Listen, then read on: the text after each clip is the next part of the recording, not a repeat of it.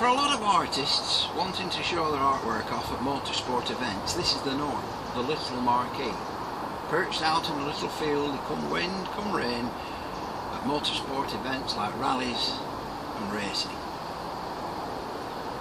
You could buy an art gallery, convert a shop in a high street.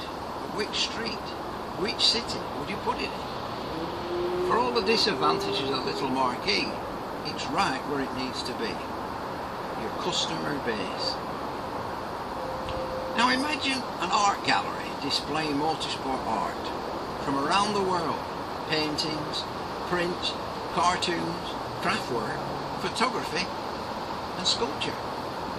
Imagine displaying this artwork in an art gallery environment, giving the public the art gallery experience, showing the artwork off the way the artist originally intended.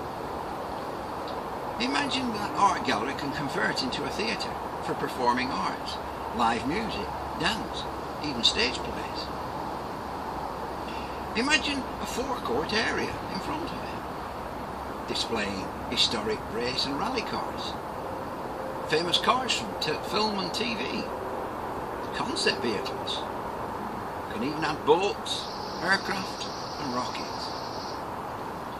Imagine this gallery, theatre and exhibition space is right where it needs to be at major motorsport events, championships, venues and festivals around the UK and Europe.